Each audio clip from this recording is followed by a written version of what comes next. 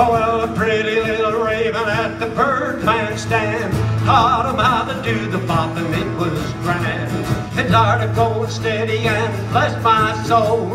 I popped a buzzard and a oriole. He rocks in the treetops all the day long.